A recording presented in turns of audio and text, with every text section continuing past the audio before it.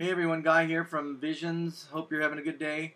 Hey, I just want to uh, do a quick review of a new, well, it's not new, Mexican restaurant here in town in Corona, California, off the 15 and Magnolia. Uh, these guys, uh, actually, it's a father and son, I think, that own the business. Um, these guys are knocking it out of the park. They've got great food, great service. Um, the soups are unbelievable, and the pricing is also great, which you would think to pay a lot more for what you're getting. Uh, they got a nice bar in there. They got really cool art on the walls from like up and coming Mexican artists in there.